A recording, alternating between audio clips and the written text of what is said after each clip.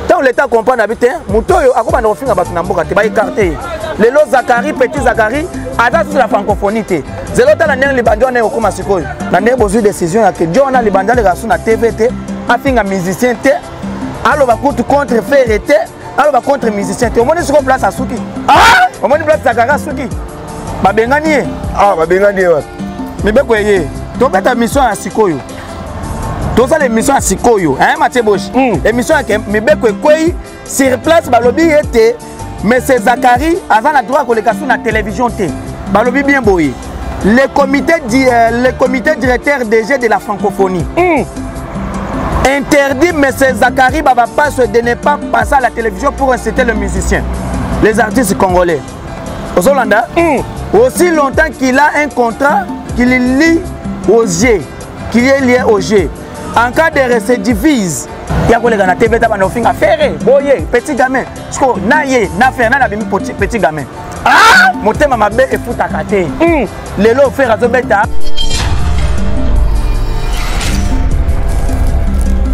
afinga presque tout le monde fere aza daniel safu te oyo ayokela yo mawa fere aza kofi olomide te oyo alimbisa yo fere aza weranson te fere aza paco panda te oyo baoyo balimbisa yo mpo bato nazotangela wana eza bato oyo zakari abebana na bango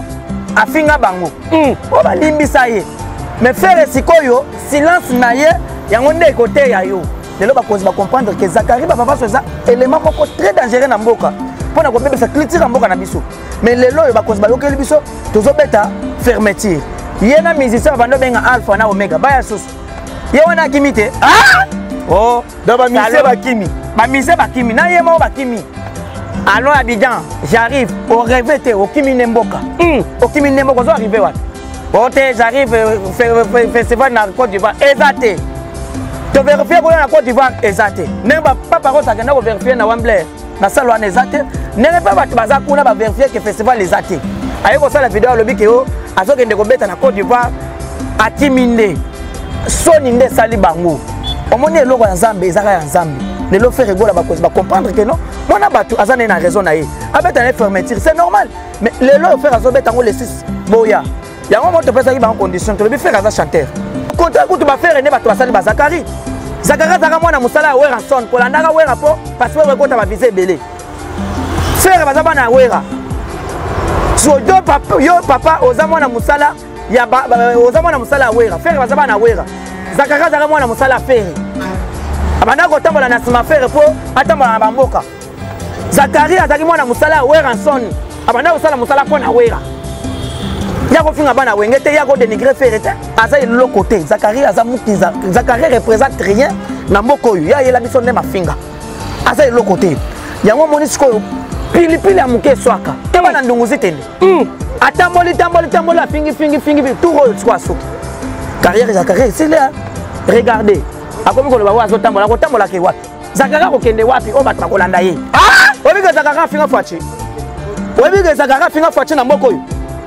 zakari afinga faci na 2016 lelo oyo sikoyo tala bakobengana ye kaka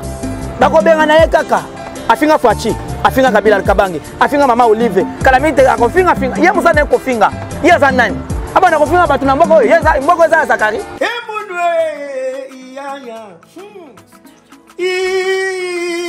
ivuila kombo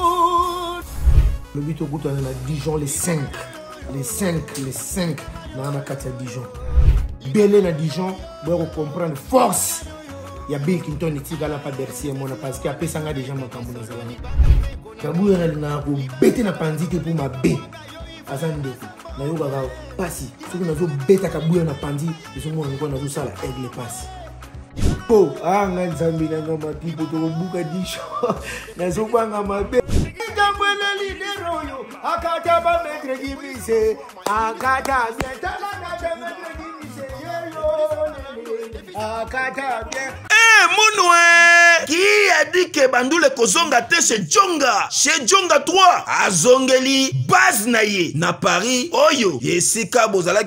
kolia komela mpe koyoka ntule na niveau ya deux fois te boyeba ke bilenge ezongi na paris na niveau ya kosakana te chez jonga 3 awa chaque week-end bilenge ezongi ya ndule à partir ya le 17 février 2023 ouverture officielle ya bandule bokozwa chaque vendredi suzuki luzubu 4 fois 4 grands chanteurs de mon pays à partir ya 20h jusqu'à l'aube mpe samedi bokozwa cnn alligator na baninga tout awa bokosepela joli kitoko à partir ya 20h jusqu'à l'heure mpe dimanche sombele suka bisanga bokozwa noko lias emeli alias de mingongo na voaki cloche elongo na wenge pusana tovanda en matine live oyo oh, ekobanda à partir ya 18h ti na minuit kasi tuna ngai nini kaka soki emeli asilisi mbala moko night club to boite efungwami à partir ya minuit ti ba 5h avec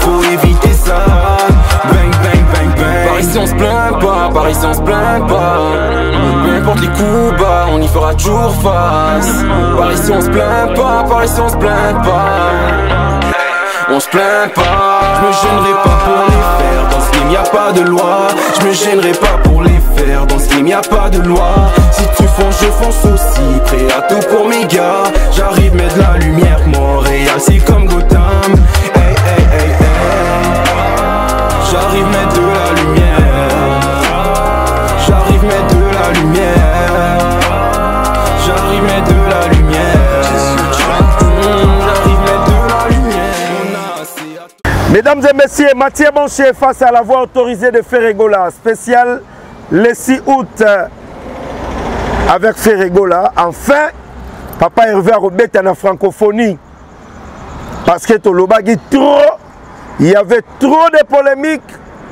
oyo bato bandaki koloba mais aujourd'hui enfin papa herve akobetela biso le 6 awa nayebi ke bagolois babengi nga de partout mpo tosepela na bango elongo donc merci déjà je suis avec le beaugard de la presse la voix autorisée de notre papa herve ferregola et pourquoi pas jet set tozosolola merci à ma préférée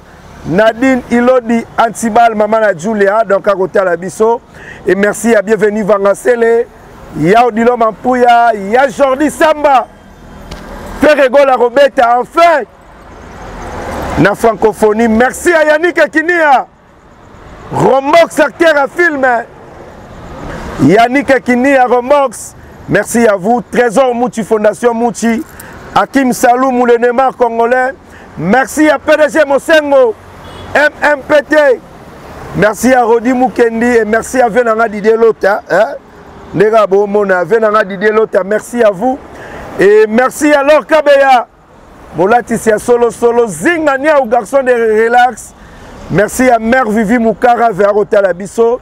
e nabosani te ya adeline mapesa mama lopangu ya lili mapesa nana mapesa e pourquoi pas bibi mapesa maboko banque anita apula mama sociale pichu mapesa litringini azotala biso na mosika ben dolce festival ya bilamba on est ensemble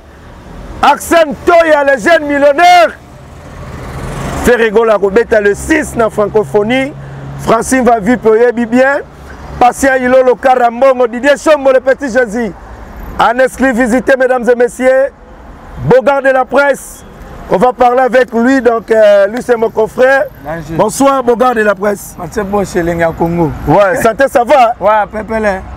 Enfin, enfin. Papa Hervé na francophonie, d'abord ouais. bino ba Gaulois ntango boyoki makambo yango esali bino boni te ya liboso esali nga bien omoni euh, le respect nde tolobaka esimposaka il faut toyeba bavaleur ya moko na moko esali nga vraiment mwa bien esali nga bien ya makasi parce que eh, francophonie eza eloko ya individu te ndenge bato mosusu balinga bamemela yango ondire neti eloko ya tata mwasi na bango ah! ondire neti eloko ya kitambo hmm. ondire neti eloko moko boye alibandi te francophonie eza eloko ya bana mboka motu tu aza na droit meme yo mpe oza na droit okende ofilme donc zakaka aza na liloba koloba te ke matie boshe kofilme te mpo eza tata na ye te ozo comprendre do esali ngai elengi ya trop merci beaucoup na bakonzi ya mboka merci beaucoup na ndenge bozwi décision ya ke jo wana libanda alekaka so na tv te afinga musicien te aloba kutu contre ferre te aloba contre musicien te omoni sikoyo place asuki ah! omoni place zakara asuki babengani ye ah, babengani ye wapi mibeko eye tobeta mission ya sikoyo tozala émission ya sikoyo matie boshi hmm. émission yake mibeko ekwei sur place balobi ete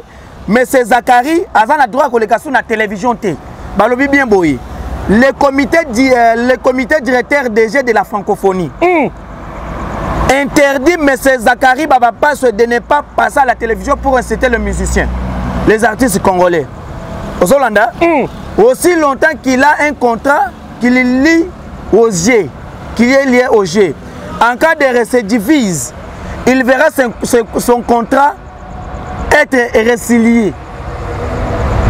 automatiquement il a fortement subi des problèmes il lui a été demandé d'être exemplaire aza journaliste basengi azala exemplaire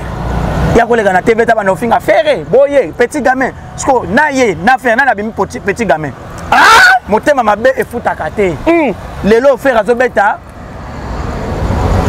babengaka nini fermeture point barre zakari yako oloba oloba susu yako oloba oh, oh, contrat o oh, contrat contrat eza te eloko bana moko osenga contrat eh lelo bakonzi bayoki ke bamise congolais bazosouffrir par rapport ya motu moko boye amesana kofinga bato afinga presque tout le monde fere aza daniel safu te oyo ayokela yo mawa fere aza kofi olomide te oyo alimbisa yo ferre aza weranson te ferre aza paci opanda te oyo baoyo balimbisa yo mpo bato nazotangela wana eza bato oyo zakari abebana na bango afinga bango hmm. mpo balimbisa ye mais ferre sikoyo silence na ye yango nde ekoteya yo lelo bakonzi bacomprendre ke zakari bapapa so eza élément moko très dangereux na mboka mpo na kobebisa culture ya mboka na biso mais lelo oyo bakonzi bayokeli biso tozobeta fermeture ye na musicien babanda obenga alpha na omega baya susu ye wana akimi te ah! oh, donc bamise bakimi bamise bakimi na ye moko bakimi allons abidjan j'arrive oreve te okimi nde mboka hmm. okimi nde mboka ozo arrive wapi ote oh, j'arrive euh, festival na côte d'ivoire eza te toverifie kuna na cote d'ivoire eza te ndenge papa rosa akenda koverifie na wembley na sale wana eza te ndenge mpe bato baza kuna baverifie ke festival eza te aye kosala video alobi ke o oh, azokende kobeta na cote d'ivoire akimi nde soni nde esali bango omoni eloko ya nzambe ezaka ya nzambe lelo fere gola bakonzi bacomprendre ke non mwana bato aza naye na raison na ye abeta na ye fermeture c'est normal mais lelo oyo fere azobeta yango le 6 boya yango moko topesaki bango condition tolobi frere aza chanteur tokobanda kaka te tobanda kosala neti bato nde basalaki puiske babetaki baplayback frere boya akoyemba live eza fermeture akoyemba live akobeyemba yango ye moko na sa de martyre nasengi bagolois baya ebele bagoloise baya ebele obeta wapi obeta pa di peuple to na sa azobeta na na na na sa de martyre bakonzi to bakozala wana mpo eza mokolo ya suka bato to bakozala wana bato baya ebele bayebele basavoure la bonne musique frère akoyemba batyela ye ototine te o oh, playback te eza te oyo oh, radio moko boye eyembaka kuna alandisa maloba ndenge misala na makelele asalaki frère akosala eloko wana te le 6 bato baya ebele frère egola akobeta le 6 na stade de martyr epuis makambo babanda loba wana esili monsieur zakari babengani ye na francophonie ah! babengani na francophonie tantine fani babengani na francophonie eza mibeko ekwei sikoyo puisque leta comprendre ke mm -mm. culture ezobeba bato mibale wana bato wana babebisaka culture moto moko atindaka bajournaliste eh, bafingaka bato bafingaka bato badenigre bamusicien mosusu moko aza mosala na ye alekaka kaka na tv amona mosala mosusu te tata mokolo oh, bizalelo nde mwana moke afingaka kaka bato afinga jb jb akipa ye te afinga kofi olomide bosa mboka akipa ye te afinga daniel safu akipa ye te afinga ndeko ya eliezer ntambwe mwamba akipa ye te tala bato oyo azofinga ye afingaka afingaka afingaka kaka bato ntango leta comprendre abi te moto oyo akobanda kofinga bato na mboka te baekarte ye lelo zakari petit zakari aza susu na francophonie te zelo tala ndenge libandi wana ekokoma sikoyo oniebe na nzela ya libuluma nzela emema mbona eza te asali da calendrier na ye abi après le 7 États-Unis, Côte d'Ivoire, Italie, Zachary. Mais na lobi eh, calendrier ça net ye Zachary pena calendrier kenda na ndeni. Akoza kabino trop. Hein. Zachary za mbongo ko voyager ka voyager ka. Zachary za na mbongo ko voyager ka. Zachary soki a voyager ka vana na Gombeta. Zachary vana na Kitambo.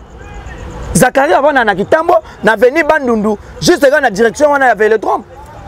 Zachary na mbongo te. Mituka mutuka ya Zachary la la libanda. place ya kaka avandaka likolo avandaka na se chaîne ya télévision na ye journaliste koma yo place olalaka eza place oyo yo osalaka mosala hmm. ozo comprendre matie boje so moto abongo aza na mbongo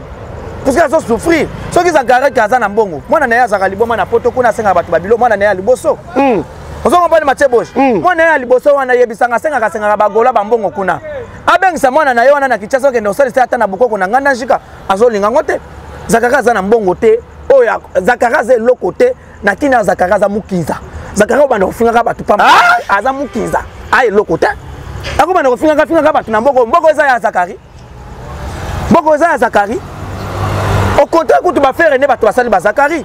zakari azalaka mwana mosala ya weranson kolandaka wera mpo passeport ekota ba visa ebele frere baza bana ya wera so yo papa, yo papa oza mwana mosala ya ba, ba, oza mwana mosala ya wera frere baza bana ya wera zakaka azaka mwana mosala ya fere abandaki kotambola na nsima fere mpo atambola na bamboka zakari azalaki mwana mosala ya weranson abandaki kosala mosala mpo na wera ya kofinga bana wenge te ya kodenigre fere te zakari ayekozwa mbongo kan mpo zakari azalaki mwana mosala ya wera abi ye mta fabrikaka bango te azala mwana mosala ya wera kolandaka wera na nsima kotya ye micro zakari na mboka oyo nayebi histoire te nayebi histoire te te abanda olanda wera na nsima afilmaka wera ketch afilmaka wera linete wera fere voyageaka ye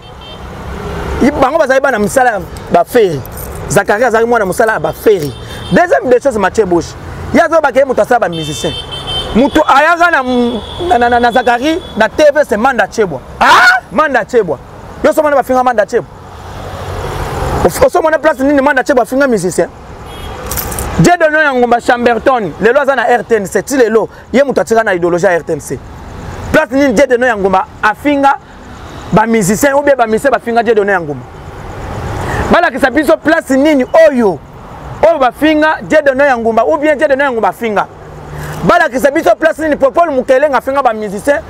ou bien musicien afinga popol mukelenge pourquoi kaka zakari kaka zakari zakari aza nani na mboka oyo aza eloko te zakari aza mukinza zakari représente rien na mboka oyo ye ayela biso nde mafinga aza eloko te yango omoni sikoyo pilipili ya moke eswaka te bana mm. ndunguzi tende mm. atamboli tamboli tamboli afingi fingi fingi tour oyo sikoyo asuki carrière ya carrière esili regardez akomi koloba oyo azotambola akotambolaka wapi zakara kokende wapi oyo bato bakolanda ye ah! oyebi ke zakara afinga faci oyebi ke zakara afinga faci na mboka oyo zakari afinga faci na 2016 lelo oyo sikoyo tala bakobengana ye kaka bakobengana ye kaka afinga faci afinga kabila kabange afinga mama olive kala mingi te akofinga finga ye mosala na ye kofinga ye aza nani abanda kofinga bato na mboka oyo mboka eza ya zakari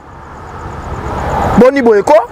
boni boye ko so tour oyo asuki babengani ye mosala ekufi mpo na bajournaliste aza sous na impact te esili ti omoni ndenge akomi eh? mitelengano amo olobaka yo akokende akokende osala nini akokende tourisme akokende obeta concert akokende osala nini akokende osala reportage na baplace alobi akokende wana akosala reportage c'est fini pour eux ba combattre faire du début jusqu'à la fin mais nzambe atelemi ça c'est le temps de dieu faire abatu ayebi na ye lisumu te faire abatu atikala kotinda bato na tv te atikala kofinga zakari te mais zakari azalaki na problème na bafanatike ya fere alakisa biso place nini oyo fere afinga zakari na tv ezala te mais celui qui a passé à la télévision, à la télévision pour dire que non fere c'est un petit gamin mm. na feri na zakari na natanga zakari atanga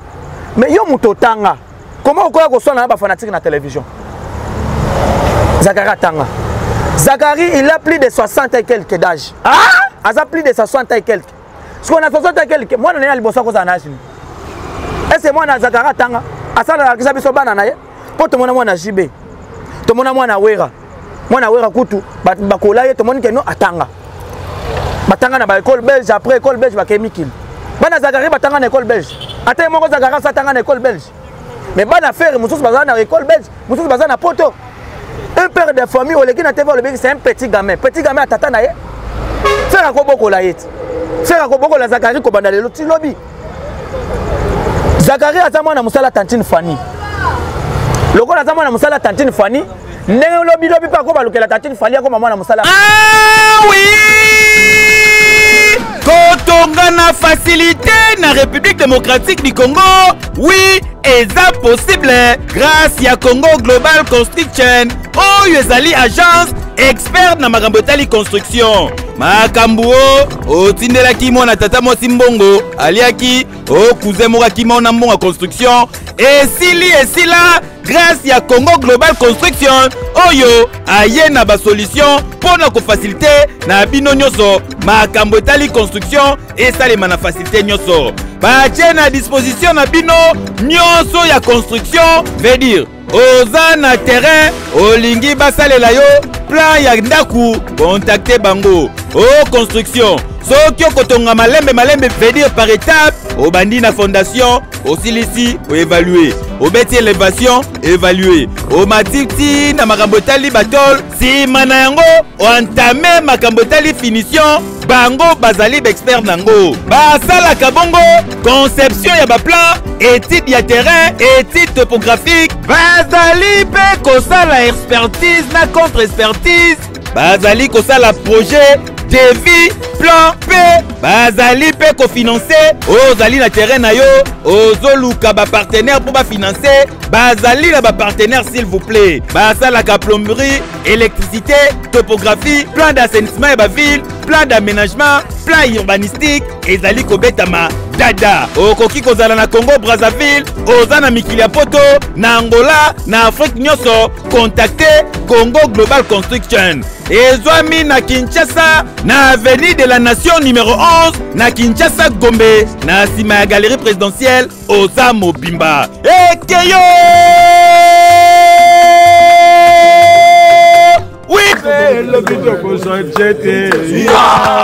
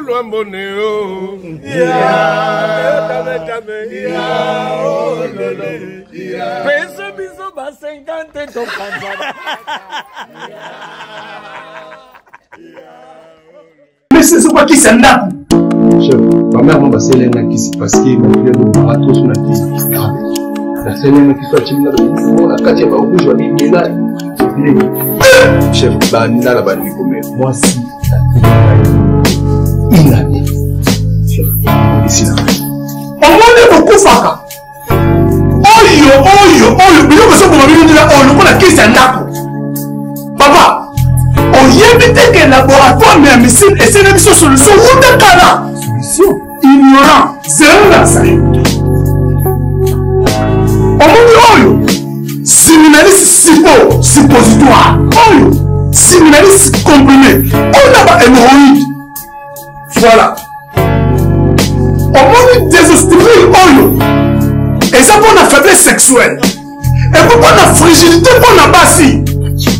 ekoyede makasi mais borex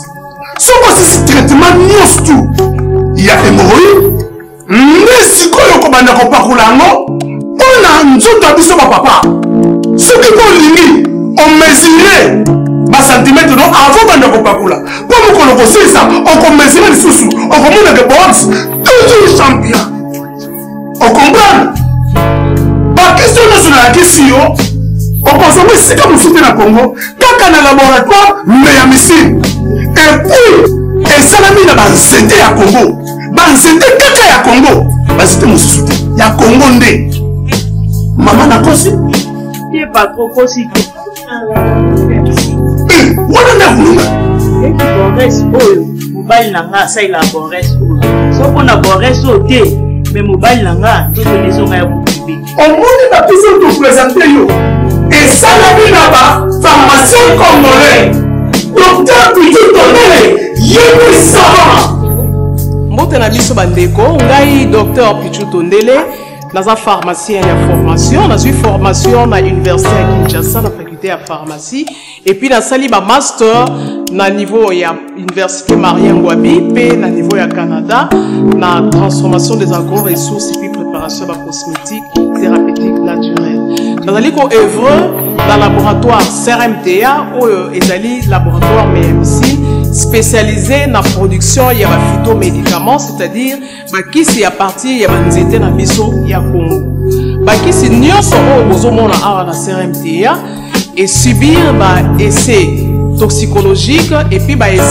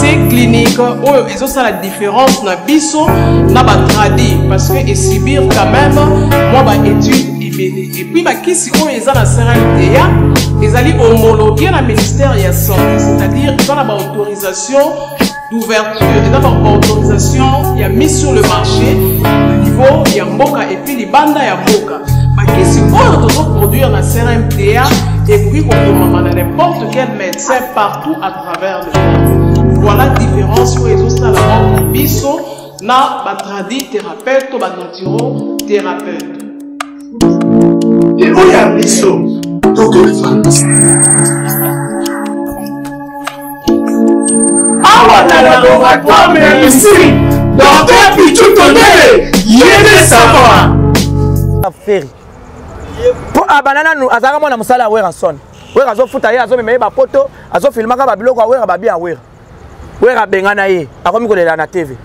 akomi lelo mwana mosala tantine fani lobi mpe akokoma mwana mosala fere zakari aa na mbongo te fere akobokola zakari kobanda lelo ti lobi oyi bato fere amema na poto oyi bato fere abokolaka zakari atikali na de journaliste na chaîne na ye wana de afuta bango na franc congolais 15000 15000 ya transport nafuta bango na dollar te tangelanga journaliste oyo epa zakari oyo ayebana bango to bazalaki wana balongolongo bajeremi yoka babg manda zakari kutu avanda epa babg manda lelo bg manda azosouffrir azosouffrir zakari aleka kutu koyoka lisolo ya bg manda te mais avanda chez bg manda na kitambo moto abokola zakari se papa ya babg manda hmm. mais lelo bg manda aza wapi lelo zakara atikali na direct tv de journaliste baoyo batikali wana bayebani na bango suti sikoyo ofingi fingi fingi fingi ofinga shabani record mabe ofinga baserge kayeme mwa dianvita mabe ofinga bandeko na biso bandeko na biso popole mukelenge popcorn pour les intimes moto mayele ya lemba journaliste ya bogos ya bogar ya bien ofinga osilisa loposo finalement okobanda kofinga bato na mboko mboko eza zakari mboko eza tata zakari ah! tata zakari oyo azolobake mwana soda mwana soda abundela wapi papa bazakari abundela wapi abundaki de 40 de 45 serie ye abota abota zakari eske guerre mondiale ezala papa bazakaka aloba abunda ah, bunda abunda wapi abunda wapi na mboka oyo bituma nini ya malonga tozwa na mboka oyo papa zakaka abunda c'est quoi ça ah, il est qui dans ce pays ah, ye aza nani na mboka oyo faut toyeba ke toza na état ya faci béton ça c'est le temps de faci béton république démocratique du congo nous avons la, la liberté d'expression mais faut yeba ke faut to remettre mutu na mutu trône na ye zala journaliste na coin na yo sala musala na yo mm. musicien zala na place na yo sala musala na ki musicien ye azoya ti na monde ya ba journaliste ya, ya ba musicien kofingaka ofingaka bato eza na sens te ndeko na nga zakaka aza eloko te aza mukinza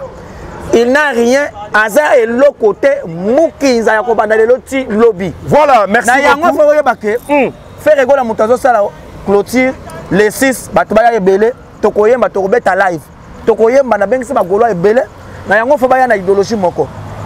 baya na euh, drapele ya mboka mpo fere ye moko akoyemba hymne national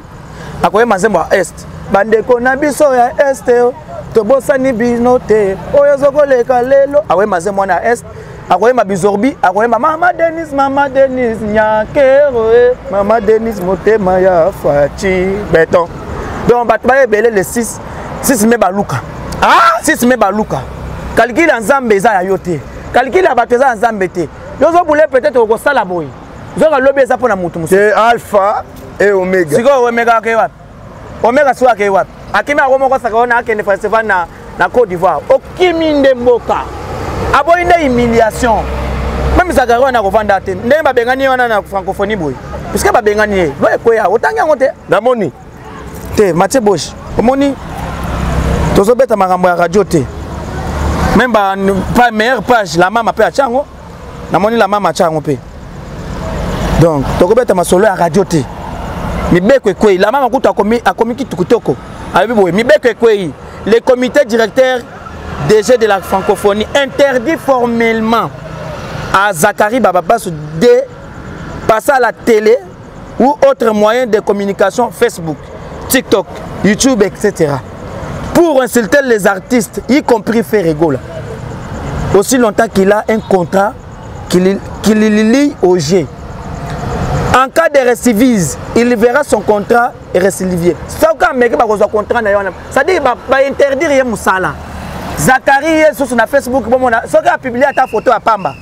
bakokanga ye zakari ata publie foto na tiktok bakokanga ye tala sikoyo place oyo eye komema yo na liwa okozala sikoyo non connecte okokomante soki okomante tokolandela yo basakanaki tour asakani na bamusicien na mboka oyo mais tour oyo nde asuki mpo ayebake no pilipili nyonso batushaka yango te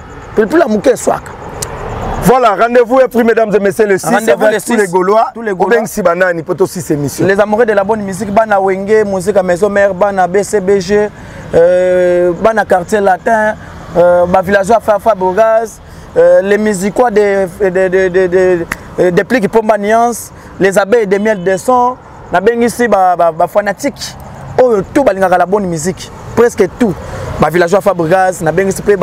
le contre maître le contre maîtresse ya, ya ndeko na biso euh, mm, euh, ibrato piana mm. nabengisi mpe bafanatike ya bina filet les amoureux de la bonne musique baya ebele bachilois na bachiloise bafanatike ya inosbi le tigre baya ebele na bato bafanatike ya rebo bato baya ebele na mboka to savourer la bonne musique lelo babanda kokosa o oh, contrat il faut que bakosi biso fort mm. mais tozotala zoka je moko boye na banda osalema bakonzi bayebaki yango te ntango bakonzi baye comprendre que non normalement c'est faire qui doit se prester ah mais basali boye mpo ya nini nzoka bato boye babengani bango tout bakamoli bango matoyi avant kobengana bakamoli mpena mato yo olomoni eloko ya tata na yo ya kitambo enfin le 6 bato baya ebele tosapure la bonne musique aza bambote opesa banani ah, mbote napesi mbota trop na ah, bato baza ebele eh. bera de prince des amunda maître bera de prince des amunda el chapo napesi mbota trop na yanik ayenga la monnaie invisible napesi mbota trop na euh, yanike kayenga papi, papi, la monnaie invisible, euh, la monnaie invisible nkala mboka euh, papi dikrenu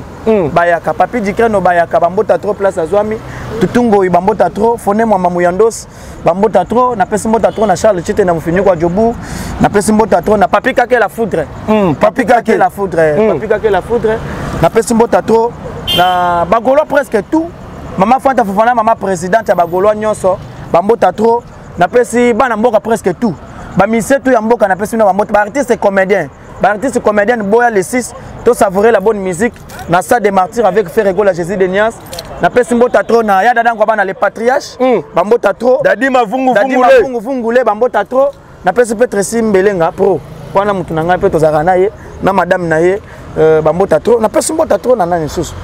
Mathieu Boss pe na pesi ba mbota trop. Kosa couleur. Mm, na pesi pe ba mbota trop. Euh, na pesi mbota trop na bato baza telema ebele or noir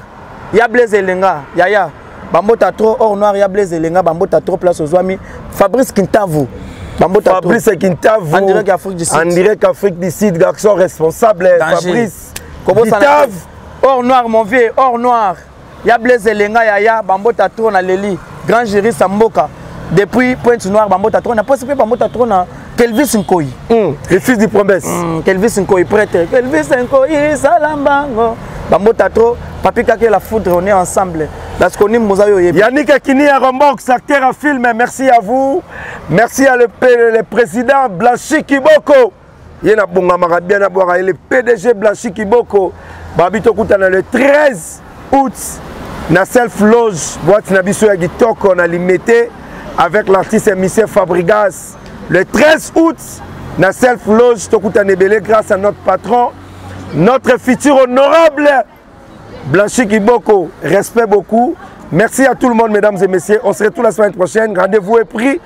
le 6 avec les padres Ferregola au stade des Martyrs, clôture des francophonies. Merci à Youni Chebanz et la fleur du jour. Trésor Miljenda, merci à vous. Et na bosani te ba massa tout balinga maté bon chez. On est ensemble, on est ensemble, on est ensemble. Ramzi Mobutu, merci à vous. Nana Kisala, Karine Kisala, Flandine Kitebe de longue jambes, mon ami. Et sans oublier Dani Chando, les Chinois congolais, Togolata Nanko. Dani Shando, Fule Lukisu, eh, na bosani te merci ya guy bokopolo de retour avec fox hein? coup d'œil jamais rata guy bokopolo merci à vous merci ya ya bruno lubika mbongo propre ya bruno lubika mbongo ya propre mbongo sikoyo so eza ya propre fo luka bruno lubika prêtre prince makale oyebi yango bien merci beaucoup a ya emamila babi emamila palace moko te na veni kato na ngambu kaka ya galaxie flat salle de fete ya bongo nayo ezala te na congo mikili me na ndenge ya kini jani napesi yo bambote ebele merci ya paola bakika merci ya la joie amado pichuna e nakosisa émission ya grande dame anita apula mama sociale irène shungu